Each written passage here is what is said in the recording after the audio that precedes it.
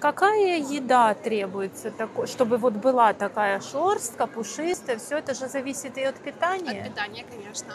Она, э, мы ее натуральное питанием э, кормим. Мы не покупаем э, готовые вот эти корма э, мокрые, да, влажные, консервы нет. Мы сами готовим, ей заготавливаем из натурального мяса. Ой, расскажите, какое мясо, какие пропорции? Мы пропорции на глаз, больше так сказать. То есть, а это говядина, э, обязательно именно говядина, не телятина для них нужна. Говядина какая-то часть? э, Просто Ну, мясо? лично я покупаю самую дорогую, самую качественную, я имею в виду, что без э, прожилок, без ничего, чтобы чисто было хорошее мясо.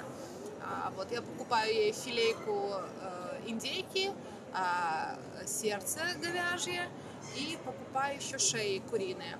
Вот это все мы перемалываем э, в мясорубке, э, расфасовываем по пакетикам и э, в морозилку, да, мясо обязательно должно 3-4 дня поморозиться перед тем, как оно начнет его употреблять, чтобы, да, убить все возможные бактерии, возможно, либо что-то такое.